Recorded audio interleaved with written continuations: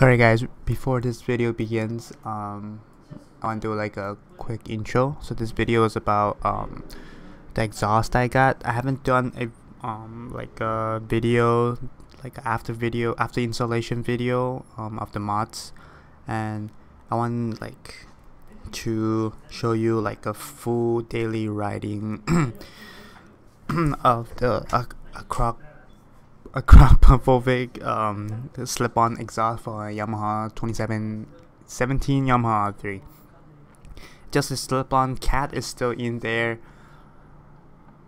Um, before I got this uh, exhaust I had done little um, videos and I haven't like seen much um, of like uh, this kind of video. So hopefully this will help you to decide whether to get it or not.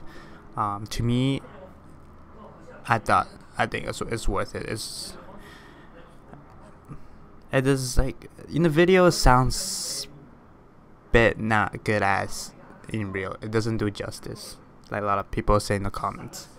Um, so hopefully you enjoy and then so my setup was uh, I took off all my uh, um, setup and then dedicate straight to um, the pipe. So here's the video and hopefully you enjoy. Thank you. Make sure you if you like it make sure like subscribe. Yep. but if you don't want to that's okay. But as long as you get some information of this like to help you decide that's good. And hopefully you guys ride safe and I'll see you guys in the next video. Thank you